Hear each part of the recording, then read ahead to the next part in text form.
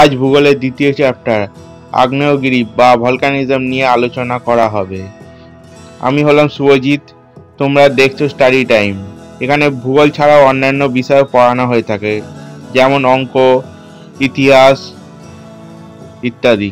Study Time celebrates collaboration with Coabiri.in, India's best low budget market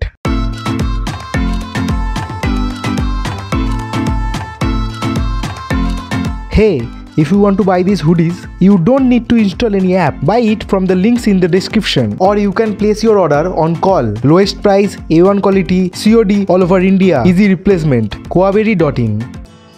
আগ্নেয়গিরি হলো একটি সুন্দর এবং অন্যতম দৃশ্য কিন্তু এটি জানো তোমরা কত ভয়ঙ্কর হতে পারে একটি আগ্নেয়গিরি যখন বিস্ফোরণ হয় তার থেকে যে লাভা বা ম্যাগমা বেরোয় সেটি তার আশেপাশে পরিবেশটিকে ধ্বংস করে এবং তার থেকে যে ধোঁয়া বা ছাইটি বেরোয়, সেই ছাইটি বহু দূর পর্যন্ত ছড়িয়ে গিয়ে থাকে বাতাসের মাধ্যমে এবং সেই ছাইয়ের যেসব অংশে গিয়ে পড়ে, সেখানে কালো কালো স্পট বা কালো কালো ছাপ পড়ে থাকে। তাহলে অগ্নুদ্গম কাকে বলা হয়? ভূপ্রান্তরে গলিত ম্যাগমা গ্যাস জলীয় বাষ্প কোনো ফাটল বা গহ্বরের মধ্যে দিয়ে বিস্ফোরণ সহ প্রচণ্ড জোরে অথবা ধীর বা শান্ত অবস্থায় ভূপৃষ্ঠে বেরিয়ে আসার প্রক্রিয়াই হল অগ্নুদ্গম। অগ্নুৎপাতের উৎসগুলি হল আগ্নেয়গিরি থেকেই হয়ে থাকে। এই অগ্নুদ্গমের সময় উত্তপ্ত পদার্থ বা উৎক্ষিপ্ত পদার্থগুলি চারদিকে ছড়িয়ে পড়ে এবং এইগুলি বারে বারে হতে থাকে, যার ফলে পদার্থগুলি চারদিকে জমে শঙ্কু আকৃতির ধারণ করে থাকে। তোমরা সাধারণত যেসব আগ্নেয়গিরি উম, এখনও অবস্থ যেসব আগ্নেয়গিরি এখনও সক্রিয় অবস্থায় আছে সেই সব আগ্নেয়গিরির চারপাশ অংশটা যদি দেখো তাহলে দেখবে যে এগুলোখানে পরস্পর ধাপে ধাপে আছে বা আগ্নেয় শিলা যদি দেখে থাকো কোনোদিনও সেখানেও দেখবে যে ওই শিলাটি ধাপে ধাপে গঠন হয়ে থাকে। এই শিলাগুলিকে সঞ্চয়জাত শিলা বা সঞ্চয়জাত বা আগ্নেয় পর্বত বলা হয়ে থাকে। জাপান যেমন জাপানে ফুজিয়ামা, ইটালি, ভিসু আস, ভারতের বারেন, ইন্দোনেশিয়া, কাতাতোয়া, এই জাতীয় পর্বত শ্রেণি সুতরাং আগ্নেয়গিরি হলো অগ্নুৎপাতের উৎস ও ফলাফল। আগ্নেয়গিরি থেকে যেসব পদার্থ নির্গত হয়, সেগুলি যদি মহাসমুদ্র বা সমুদ্রের পার্শ্ববর্তী অংশে গিয়ে পড়ে, সেখানে গিয়ে জমাট হয়ে, আস্তে আস্তে ভূপৃষ্ঠের বৃদ্ধি ঘটাতে থাকে। এরপর তোমার সৃষ্টির আদি লগ্ন থেকে আগ্নেয়গিরি নির্গত জলীয় বাষ্প থেকে ঘূর্ণিভবনের মাধ্যমে সাগর মহাসাগরও তৈরি হয়েছে। এছাড়া বিভিন্ন ভূতাত্ত্বিক যুগে আগ্নুদ্গমের মাধ্যমে পৃথিবীর বায়ুমণ্ডলের তাপমাত্রা নিয়ন্ত্রণ হয়েছে। যা বলতে পারো যে যখন আগ্নেয়গিরিগুলি বিস্ফোরণ হয়, তার থেকে যে জলীয় বাষ্পটি বের তার মধ্যে কার্বন ডাইঅক্সাইডের পরিমাণ বেশি থাকে, যার ফলে ভূপৃষ্ঠের তাপমাত্রা উত্তপ্ত হতে থাকে এবং সেই সব আগ্নেয়গিরিগুলি যখন আবার শান্ত হয়ে যায়, তখন কার্বন ডাইঅক্সাইডের পরিমাণও কমে যায় এবং অক্সিজেনের পরিমাণ বাড়তে থাকে, যার ফলে আবার ভূপৃষ্ঠ শীতল হতে থাকে, এর ফলে তাপমাত্রা নিয়ন্ত্রণ করে থাকে। পাঁচ সীমানা তত্ত্ব অনুযায়ী অবিস্তারী পাঁচ সীমানা বিস্ফোরণ সহ আগ্নোদ্গম ঘটে, কারণ এটি একে অপরের দিকে অগ্রসর হয়, যার ফলে একটি অপরের সাথে সংঘর্ষ হয় এবং ভূপৃষ্ঠের নিচে অবস্থিত ম্যাগমা, একটি ফাটল বা যে দুটি পাতের মাঝখানে দারণ সৃষ্টি হয়, সেই দুটি দারণের মাঝখান দিয়ে বেরিয়ে আসার সুযোগ পায়। এছাড়া অপসারী ও নিরপেক্ষ পাত, যেগুলি একে অপরের সাথে সংঘর্ষ হয় না, কিন্তু এখান দিয়ে বিস্ফোরণ ছাড়াও শান্তভাবে আগ্নুদ্গম ঘটে থাকে, একে বিদারী অগ্নুদ্গম বলা হয়। এই রকম বিদারী অগ্নুদ্গমের ফলে বিস্তীর্ণ অঞ্চল জুড়ে লার্ভা ছড়িয়ে পড়ে, যার ফলে লার্ভা মালভূমি বলা হয়। এবং অগ্নুদ্গমের ফলে বেশ কিছু ভূমিরূপও সৃষ্টি হয়। তাই অগ্নুদ্গম এক প্রকার ভূগাঠনিক প্রক্রিয়ারও কাজ করে থাকে। সৃষ্টির সময় থেকে পৃথিবীতে একাধিক ভূগাঠনিক প্রক্রিয়া কাজ করে চলেছে। ভূপৃষ্ঠে অভ্যন্তরে হঠাৎ কোনো ভূ আলোড়ন বহিঃপ্রক্রিয়াই হলো অগ্নুদ্গম এবং ভূমিকম্প। এবার তাহলে তোমাদের প্রশ্ন থাকতেই পারে যে অগ্নুদ্গম কীভাবে হয়? পৃথিবী অভ্যন্তরে উত্তপ্ত অবস্থায় রয়েছে, যা লার্ভা বা ম্যাগমা যাই বলো। ও গুরুমণ্ডলে প্রায় দুশো ডিগ্রি সেলসিয়াসে এই স্বাভাবিক শিলা গলে যায়, কিন্তু ওপরের স্তরে প্রবল চাপে গলনাঙ্ক বেড়ে থাকে। ফলে শিলার অংশ গলে বা পিচ্ছিল হয়ে প্লাস্টিকের মতো অবস্থিত হয়।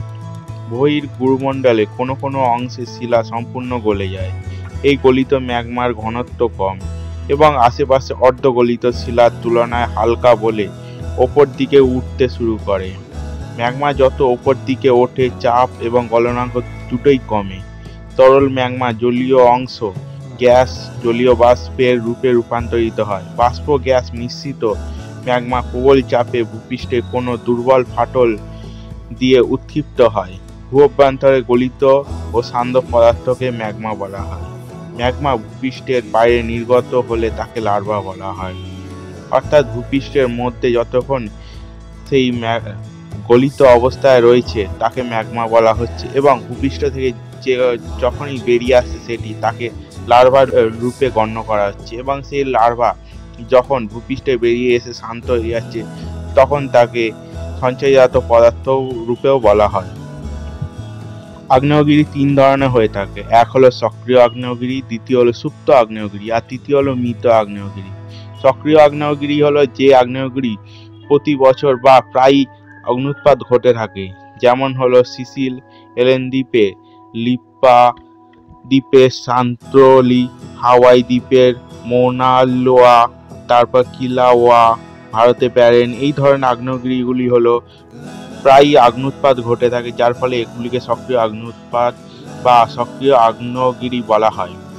এরপরে হলো সুপ্ত আগ্নেয়গিরি হলো জাপানের ফুজিয়ামা, ইন্দোনেশিয়ার কাতার, এই ধরনের আগ্নেয়গিরি কোনো একবার বা ধরো দুশো বা তিনশো বছর অন্তর বা হয়তো কোনো এক সময় জেগেছিল, তারপর আর এখনও জাগেনি, কিন্তু হঠাৎ এক সময় জেগে উঠবে, সেই সব আগ্নেয়গিরিকেই সুপ্ত আগ্নেয়গিরি বলা হয়ে থাকে। এগুলি বিপজ্জনতা অত্যন্ত কম পরিমাণে থাকে, কিন্তু এগুলি আশেপাশ অঞ্চলে ঘর বাড়ি বা বসতিস্থল বানানো বারণ থাকে। এরপর হলো মৃত আগ্নেয়গিরি। এগুলি সবসময় যে কোনো আগ্নেয় লার্ভা বা ম্যাগমা বেরোনোর চান্স খুবই কম থাকে। কারণ এগুলি মৃত প্রায় অবস্থায় চলে গিয়ে থাকে, যার থেকে আর কোনোদিনও বিস্ফোরণ ঘটবে না।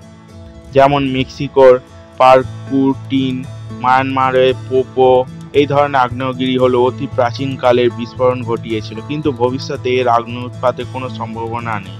তোমাদের আগে বলা হয়নি, ভারতের যে ব্যারেন আগ্নেয়গিরিটি আছে, সেটি আঠারোশো বাহান্ন খ্রিস্টাব্দের পর উনিশশো একানব্বই খ্রিস্টাব্দে আবার আগ্নুৎপাত ঘটেছিল।